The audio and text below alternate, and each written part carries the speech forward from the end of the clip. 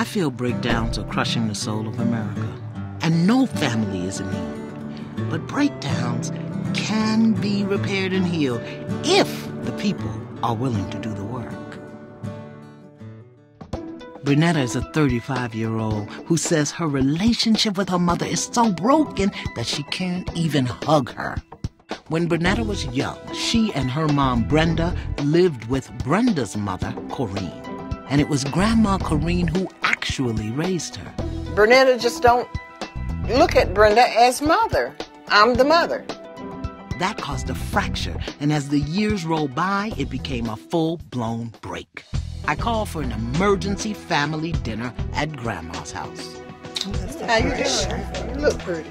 It's been three months since his family has been in the same room together. My work is to break down the walls of betrayal and resentment and start the healing. I bless this table, this gathering. I bless this food. I bless the earth that provided it.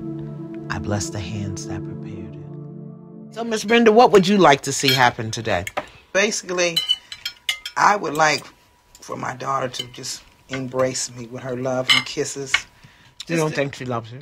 She puts up with me. She loves me from a distance. Have you ever asked her? Yeah. And what does she say? She says she love me. But she take too long to say it. Do you love me? Mm-hmm. See?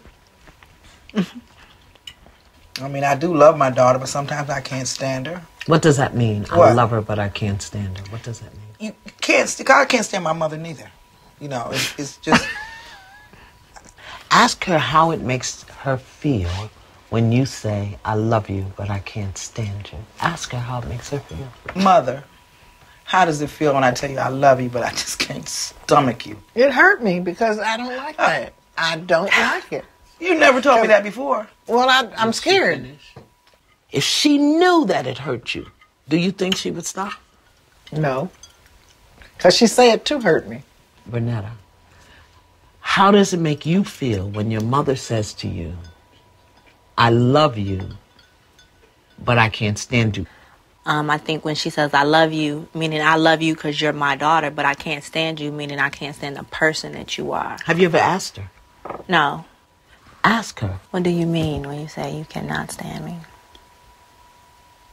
You get on my nerves. It's just you just you, make my flesh crawl because you, you don't reach out to me. Tell me the truth. Why you why it's like this with us? You know. Okay, take a breath. Can I just say, and I know it's nervousness, but it just feels so unkind and unloving that the two of you laugh whenever she gets into a expression of what's going on for her. What did I do wrong? What where where where where did I mess up at? That's what I want to know. In the beginning stages, the foundational stages that you put in the love, the hugging, the kissing, I don't think that you did that. I think that grandma did that. So now when I get older in third my 30s, you want me to come and do that, but we never did that. So it's uncomfortable for me. Am I hearing you say that the affection and the attention you got from your grandmother more than your mom? Mhm. My grandmother gave me more emotional support.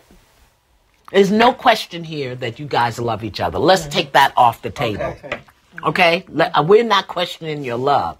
Now, how you define love and how you demonstrate love, I love you, but I can't stand you. You make me sick to my stomach.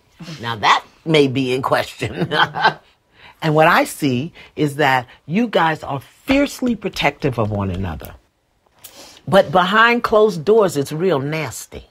It's it's nasty, but it's not really nasty. It is nasty. Nasty is nasty. And But that's another thing that y'all do. Y'all don't call a thing a thing. You make up fancy names for it, and that's why you're sitting at this table right now. Call a thing a thing. You got a daughter sitting here that feels she was abandoned by her mother and won't say it. You've got a grandmother here who is totally out of place and out of line and has squeezed the mother's place out of the daughter's life and nobody will call it what it is. You got a daughter who doesn't feel safe with her mother because of her mother's mouth. She doesn't know what you are going to say. Let's call a thing a.